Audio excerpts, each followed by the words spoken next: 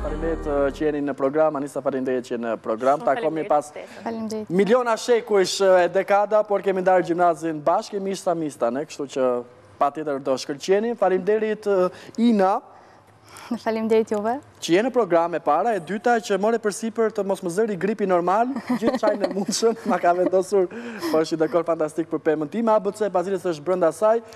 Mendoj që këto dhurata, ja jam këtu, faleminderit Anderson, mendoj që këto dhurata që kanë kaq shumë dashuri vlejnë më shumë se diçka tjetër super e shtrenjtë apo jo Anisa ti që e marr gjithë kohën me këto dhurata bio patjetër që japin shumë kënaqësi Pse të bën ty ta duash kaq fort? Mendojnë që nuk ka lek, është një sipërmarrje që do na hajë shumë kohë, por në fakt Jo, në fakt është e kundërta, sepse është një punë që është e bërë me shumë dashuri dhe është shumë kënaqësi kur tjetrit t'i dhuron shumë dashuri me një punim artizanal.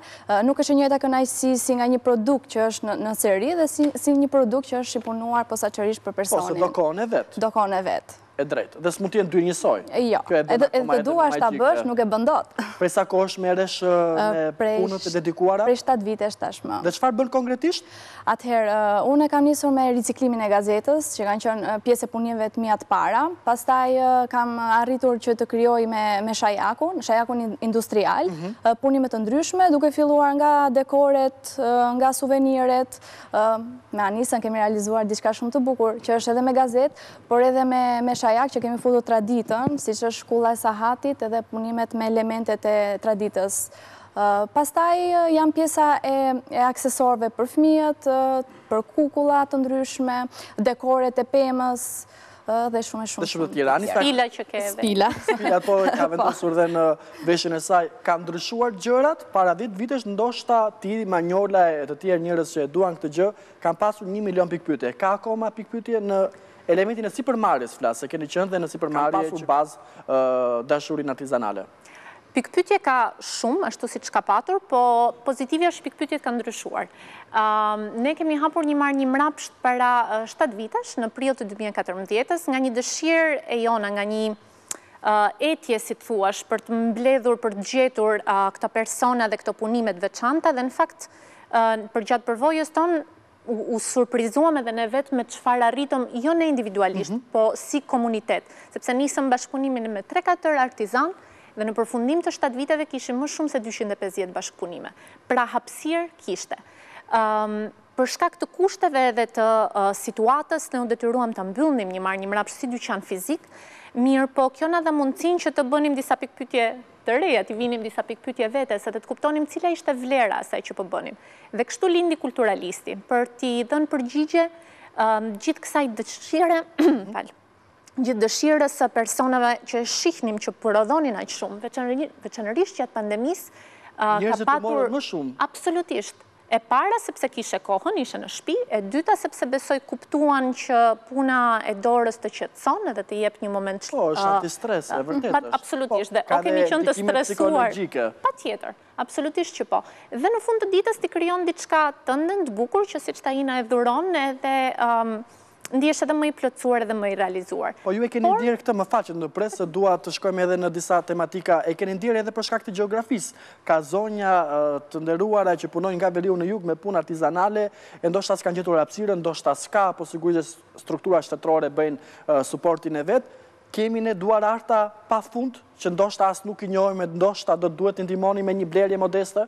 Shumicën nuk i njohim dhe ne prandaj prandaj e nisëm dhe siç thashë u surprizuam vetë ashtu siç jemi të surprizuar tani që ne kemi një rrjet me dyqind, treqind pothuajse artistë dhe artizanë të rinj që nuk i njihnim deri para një viti kur nisëm. Pra nuk është më një profesion që lidhet me njerëz mbi të pesëdhjetat, nëse mund ta them kështu pa i paragjykuar. Absolutisht jo, jo, jo për paragjykim, po për të kuptuar që ndoshta perceptimi që ne kemi kur dëgjojmë fjalën artizanat, është ndoshta jo real, ndoshta kemi ngelur te çentrot edhe te qilimat që janë absolutisht shumë bukur. Ndoshta kemi thënë na humbi si gjë, s'kemi më artizanë apo njerëz që merren me me punët me dorë. Unë nuk dua të them që situata është shumë mirë, përkundrazi, dua të them që situata ka shumë hapësirë për t'u përmirësuar, por sepse ka hapësirë për t'u përmirësuar, sepse ka energji në këtë drejtim, nuk është diçka e humbur. Jemi akoma në kohë që qoftë familja Mjeda, familja Guni në Krujë, apo vajza e djem si Ina që kanë studiuar, po i drejtohen kësaj fushe,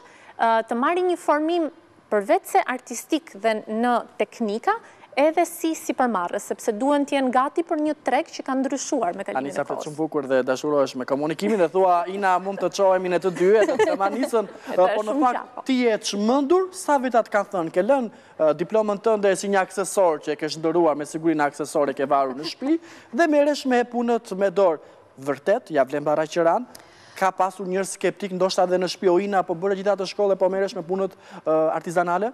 Po, po, ka ndodhur dhe kjo, por që është një nga ato punë që bëhet me shumë pasion, me shumë dashuri dhe me vajzat pastaj gjetëm një përkrahje shumë të mirë, sepse ishte një ambient që nuk e dija që, që ishte në, në mhm. Tiranë, me thënë të drejtën, që ishte dyqani një mbarë një mbrapsht, dhe ishte një, një, një alternativë shumë e mirë për t'u njohur me, me artizanë të tjerë si puna ime, që nuk i dija që kishte kaq shumë, dhe vazhdojnë shtohen po prapë, akoma dhe më shumë. Gjithashtu, për pjesën e shitjes ishte një, një ndihmë shumë e madhe, për pjesën sepse online funksionon shumë mirë, po kur është një dyqan fizik, funksionon akoma dhe më mirë. Ti e di që njerëzit fatkeqësisht lidhen gjithmonë me çmimin, nuk mendojnë që ti je lodhur me orë të tëra, mezi ke gjetur këto materiale t'i bësh bashkë, po, po a janë punët artizanale të shtrenjta, a stepen njerëzit duke menduar që janë shumë të shtrenjta, apo? Po, Po është paksa i gabuar ky mendimi, sepse në të vërtetë... Besoj e keni ndier në punën tuaj, që një gjë artizanale duhet jetë shumë e shtrenjtë. Domethënë, duhet të ishin, ndoshta më të shtrenjta, por nuk janë të shtrenjta. Më thuaj gjënë më të çuditshme që ke bërë, por që ka dalë një dashuri. Ndoshta që ta ka kërkuar Anisa, Ermali, Manjola, apo dikush tjetër, apo ndoshta kreativiteti yt. S'e ke paramenduar që me atë gjë ti mund të bëje një art më vete. S'më vjen. Kush është gjëja më e çuditshme që ke bërë? Punimet që kam krijuar me gazetë. Me gazetë? Me gazetë. Domethënë riciklimi që ishte me gazetë, sepse është shumë skeptik si gjë ose si produkt, mhm. po ndërkohë që del, kanë dalë produkte shumë të bukura, shumë cilësore dhe shumë të forta. Domethënë sa njerëzit mendojnë se është diçka që mund të thyhet po, ose mund... Po, imagjinoj. Por që nuk ndodh. Anisa, do më thua ti gjënë për cilën ke thënë jam krenare? që kam pranë njerëz kaq duarartë, që të ka suprizuar një objekt? A, një, sa kohë kemi? A, besoj... Disa, për shembull.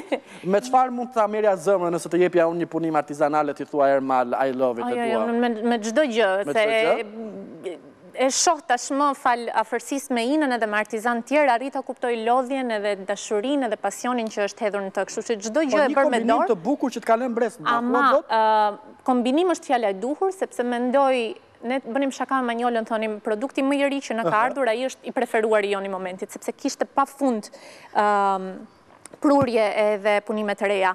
Ama për mua më të dashurit, edhe besoj për ne duke qenë për frymën që donim të përcjellim, kanë qenë bashkëpunimet. Bashkëpunimet. Domethënë, produktet që kanë nisur nga një ide e dikujt, apo nga një porosi, apo nga një bisedë, dhe pastaj bashkon 3-4 artizanë, 5 artizanë, bashkon Inën që ka studiuar diplomaci me Adin që e ka trashëguar nga stërgjyshi i tij punimin e qeleshes, dhe bëhet një punim që nuk është më imi, nuk është më porosia e parë, është porosia e të gjithëve bashkë, punimi i të gjithëve bashkë.